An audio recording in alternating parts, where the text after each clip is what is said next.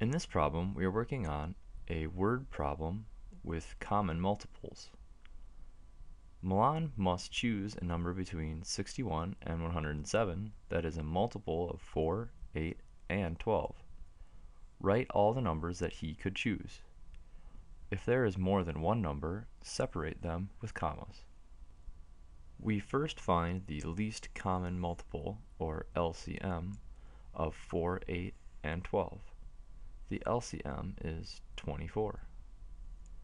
Any multiple of 4, 8, and 12 must be a multiple of the LCM 24. So the only numbers that are multiples of 4, 8, and 12 are the following.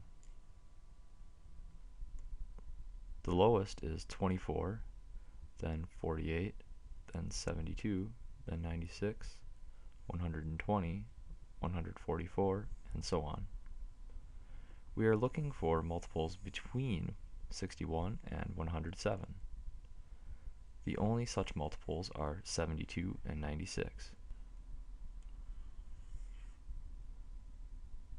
The rest of the numbers are either below 61 or over 107. So the answer is 72 and 96.